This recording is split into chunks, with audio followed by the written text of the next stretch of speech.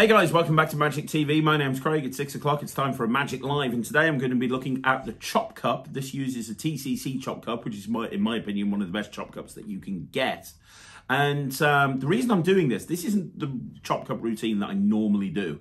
Uh, for those of you that don't know, a little while ago I did a uh, a lecture on the Chop Cup for the guys at Alakazam at their hub on the Discord server. And I did it twice and uh, it was very well received. I put a routine together specifically just for that lecture that incorporated, it was, it was Chop Cup for beginners and it, it taught a very simple Chop Cup routine with a couple of simple moves that you can string together and uh, kind of put together into a commercial routine. And a lot of people that went to that lecture, uh, of course it wasn't filmed, um, there's no way to go and watch it again. And a lot of people that went to that lecture said, hey, uh, can you perform the routine on, on your channel because I want to remind myself what it looks like. So this is me performing it. So for everyone that's contacted me and said, please can you perform the routine that you taught at the Alakazam hub, this is the routine. And I need Sarah to help me. Luckily I have Sarah behind the camera. How you doing, Sarah? Hey.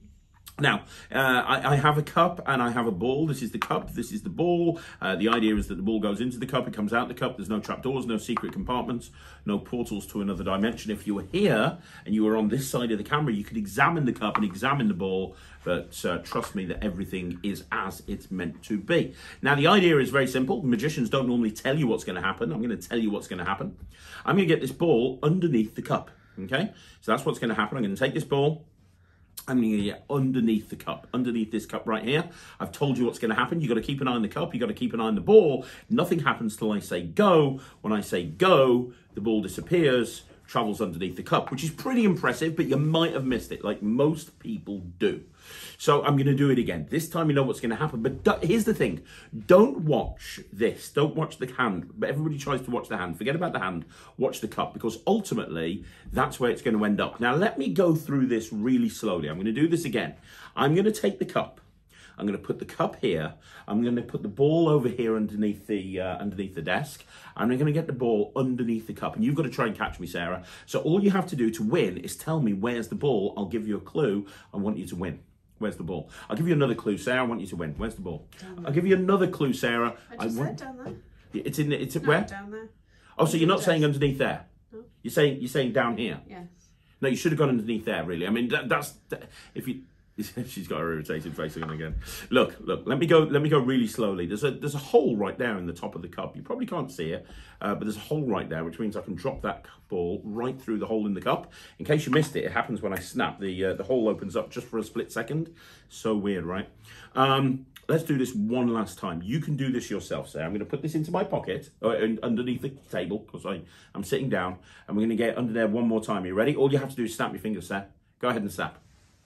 Snap, you can do this. No, you didn't snap hard enough. You need to snap a little bit harder. Check it out. Look at that. She's ama You're amazing. Honestly, you are the best magician ever.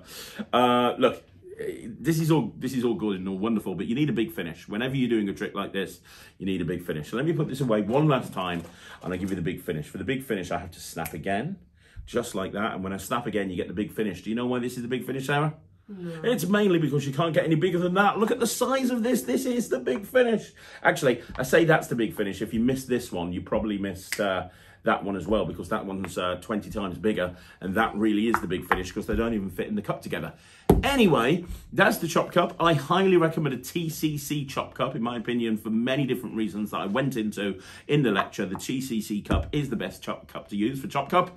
Um, but yeah, I mean, do you do chop cup? Let me know in the comments down below. If you do, uh, I just love chop cup. I always have. And if you want to see more videos like this, do me a favor, like the video, subscribe to the channel, and I'll be back again tomorrow with another Magic Live. I'll see you again. My name's Craig from Magic TV.